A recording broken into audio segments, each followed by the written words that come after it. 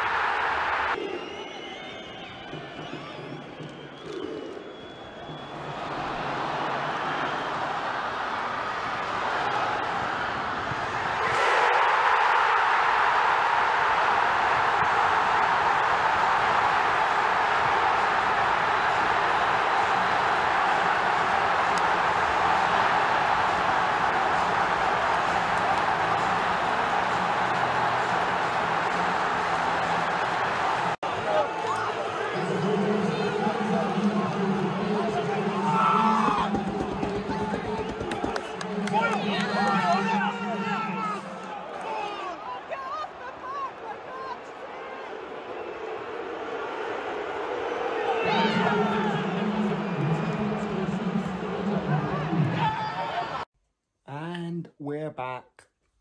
It's coming up for six o'clock now, to be honest, about four hours since the game ended. And we're at home. I'm on Twitter. And yeah, Martin Boyle is back. And that will be the that will be the something like Boyle Brilliance of Boyle's Back will be the title of this video. And, well, it's quite the way to mark your second debut. Scoring the late equaliser in the derby. I'd, come on, I, I was going up to leave. I was walking, I was starting to walk down the, I was starting to walk out the ground when I heard the momentum building that Hibs were the attack for the for that goal, but evidently I heard it. I heard I heard there was a chance coming, and I went back up the steps to see what was going on, and there was a certain Martin Boyle ready to put the ball into the back of the net to spoil the Jambos party.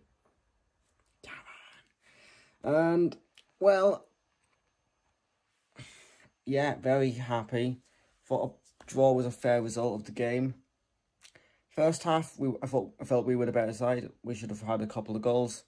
In the end, we ended up undeservingly, I felt, going into the break 1-0 down after Shankland put Hearts 1-0 up. And, yeah. Then the second half, I thought Hearts were the better team. In fact, they were the better team in the second half. There's no denying that. And, well, John Beaton doing John Beaton. We'll just... We'll just expect that from John Beaton. Whenever he refs one of our games. Not to give us anything. And, yep. And then, just when we thought the game was all done, Hearts have got a 1-0 win at East Road. Up steps Martin Boyle on his second debut for the club. Does what Martin Boyle does. You'll, you'll have, I've put the goal in the video. Hopefully not, uh, hopefully not been copyrighted for it. But yeah, anyways, thank you for watching. This might have been a bit of a short videos than normal, but thank you for watching, and I will see you later. Goodbye.